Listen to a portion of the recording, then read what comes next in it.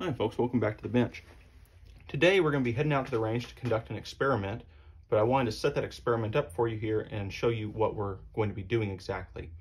The goal is to see if there is any practical difference, any noticeable difference in the standard deviation of the velocities of 9 millimeter ammunition that is loaded on the same machine, same process, but with mixed head stamps versus all matching head stamps once fired brass, basically the same lot number, just to see if that variation in the brass causes any deficiencies in performance that, you know, maybe you'd like to, to sort your brass or try to always get the same brand uh, of brass for consistency's sake.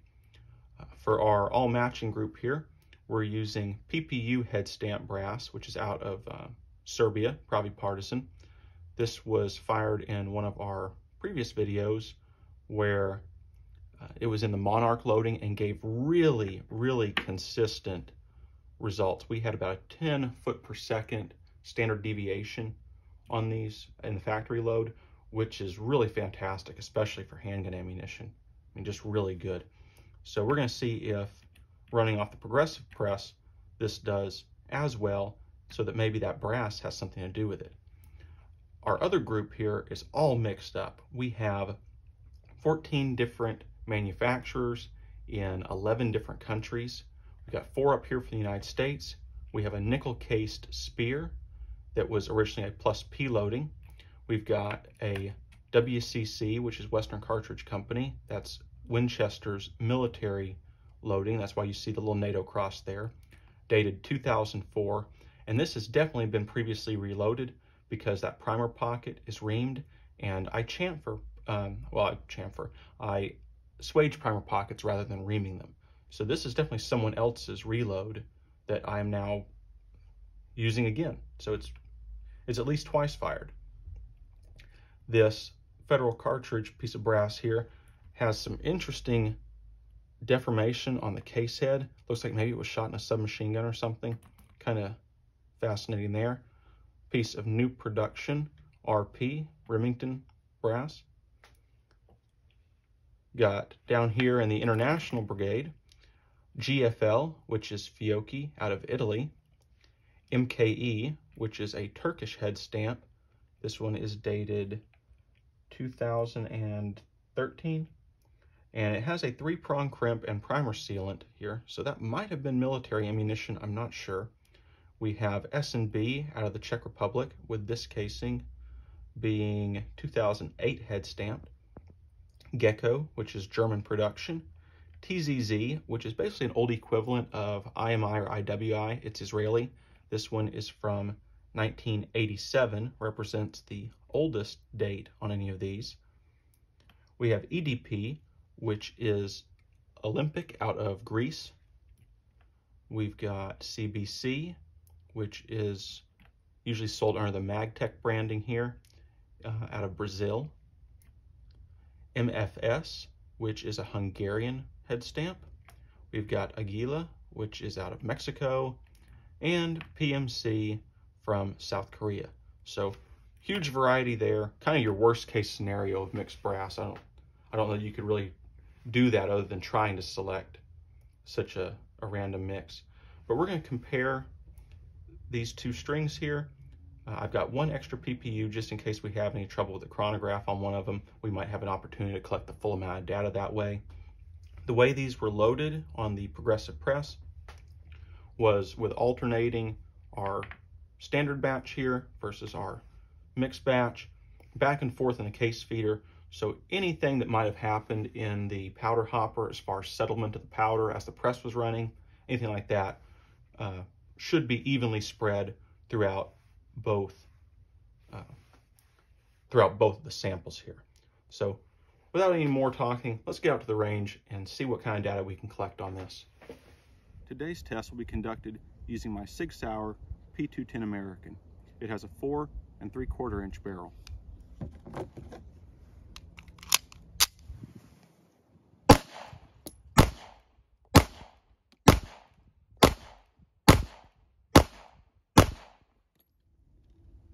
First, the PPU all consistent head stamp.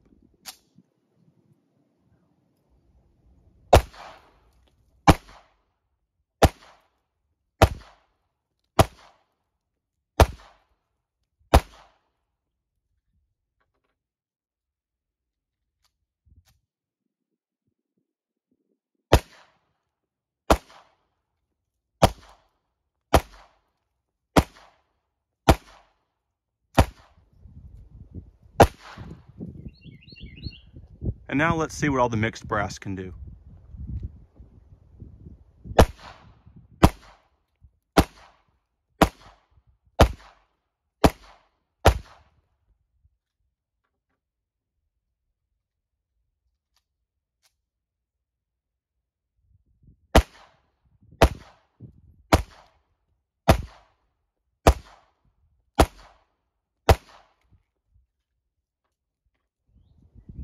On the targets here, on the left, we have all that PPU, and then on the right, we have the, the mixed brass.